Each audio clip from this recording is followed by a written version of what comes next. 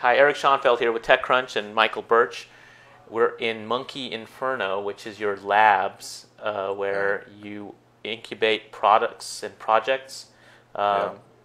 Tell me about you know what what you're doing here, and I kind of see you as part of this sort of new class of uh, what we call gentleman hackers, uh, Right. right, where you you, you try a, a lot of different things, and and some of them turn into products, some of them maybe might turn into companies. What's your Yeah, approach? so we we left. Um, we sold Bebo nearly four years ago now, and prior to doing Bebo, I was doing many different ideas on my own with my with my wife, um, and we would just try ideas, and we'd do one, and it may or may not work, and then we'd start doing the next, and they all sort of overlapped, and I could really only do one at once because I was doing all the programming.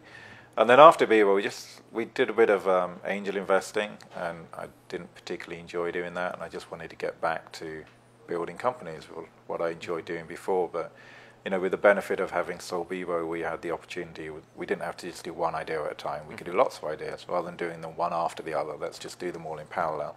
Um, we know some won't work, so why not do more than one? And if we do enough, one of them is going to end up working for sure. It's just a matter of time. So we decided to sort of get a cool office, um, somewhere that people wanted to work, hire some great engineers. Uh, it's taken time. You know, I think everyone's aware of how hard it is to. Been doing this for two hire. years already. We started about two years ago, but it's really only come together, I'd say, in the last six months. When did you get this office? We got this about a year ago. A year ago. And how many people do you have working? We have, I think, about 18. 18. We've got a couple more joining. And do people come to you with ideas, or you? No, um, we have so many ideas that we want to do, which is why we really set it up so we could do the ideas. So it's not an incubator in the sense that, that um, it's not other people's ideas. It's yours. Um, all the employees actually work for Monkey Inferno, and then each idea we do has its own company.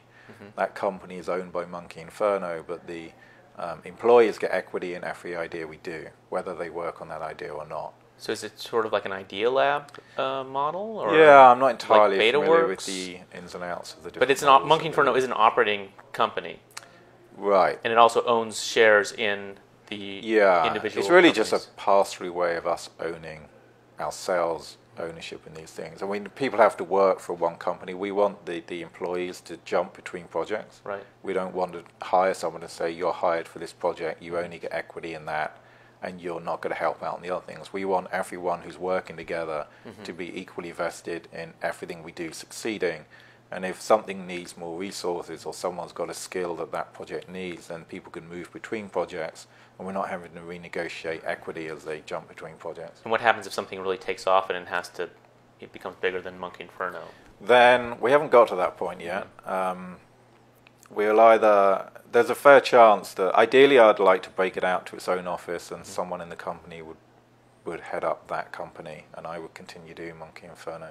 And what are the? But how many projects do you have now? We have four going at the moment. Four. What are they? So we have Water Forward, which is unusually the non-profit, so that's not going to make any money. Um, we have Jolitics, which is a political networking site, um, which at the moment is live in the UK. We're redeveloping it and launching it here in about two months' time. Um, so we learnt a lot. We learnt what works and what doesn't work. So we're keeping everything that worked and fixing the things that didn't work in the UK. But also the US is the big market, and with the run up to the election, it's perfect timing. We have Zuno, um, Zuno and Birthday Alarm, which is kind of one project. So Birthday Alarm is a business we've had for 10 years. Um, it's got about 80 million members, not all of them active. Um, makes about 3 million a year um, profit, has done for many years. So that's actually paying for most of what's going on here. Oh? Okay, so you, you folded that into Monkey. That's folded in. And then Zuno is kind of a reinvention of that. Birthday Alarm being 10 years old, it's a little bit dated. right. So And remind us what's the, what's the concept behind birthday alarm? So birthday alarm, it reminds you of birthdays, which has been a little superseded by the fact that Facebook does that now. Um, so Facebook kind of beat Bebo and birthday alarm in the end. But, uh, uh, and then when we remind people of birthdays, we offer to um, for them to send an e-card. I got you. And so the birthday reminders are free. And that was very viral because I would ask you. Um, the reality is, people didn't used to know their friends' birthdays. They Right. know their parents and their siblings and other half and children, and that would be it. So beyond that, they didn't know. So they would send an email to their friends saying, "When is your birthday?" Mm-hmm. They would click on a link and enter their birthday for them, Right. and then it would say, "Do you want to be reminded of your friend's birthday?" So that was incredibly vile um, from an early stage. And then we monetize it, as I mentioned, through the, the e-cards. So the e-cards people pay an annual subscription for. And now that's called Zuno.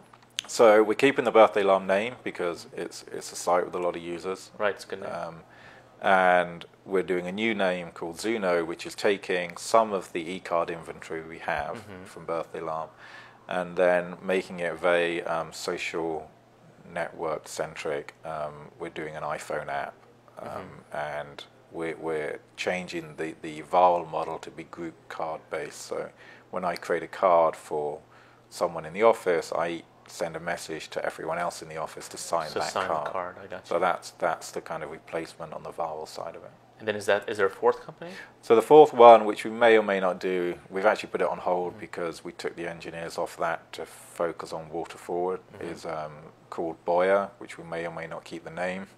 B O Y A. Um, it's a long way from being live, and it's it's sort of a chat roulette done well. So probably synonymous with airtime, but haven't seen airtime yet. Right. And then Jolitics.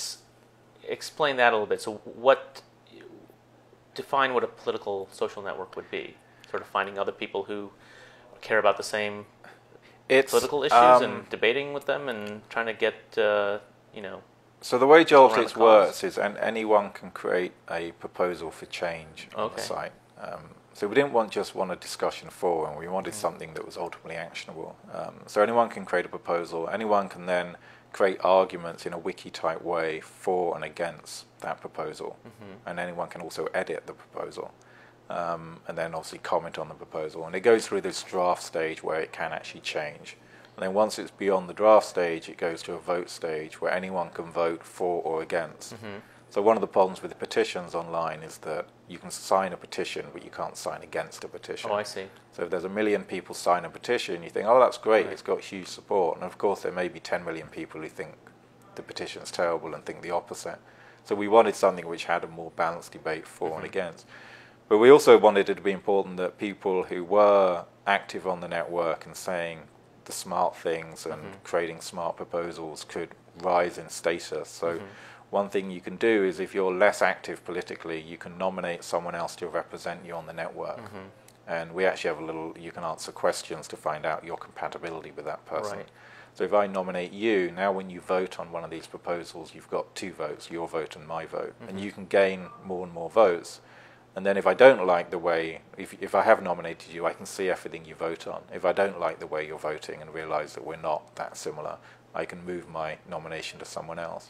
And So then the- how do you get these propo- the proposals that get the most votes? How do you then, you know, get beyond sort of the petition phase to actually affect change in the real world? So, I mean, part of it's going to be about reputation and status of the network Mhm. as it grows. I mean, the more people who are doing it, the more focused that will be had on, on the network. So, if, if you are someone who's got, say, ultimately a million nominations, Mhm. suddenly you've created a voice yourself that, that the media, that other politicians want to speak to because Mm. you've become, you've created a position where you're influencing a million other people politically. Um, so that, that that that's where we want to get to. But the in terms of individual proposals, um, the the government have recently um, create, created a way that you can submit proposals or, or petitions. Which government?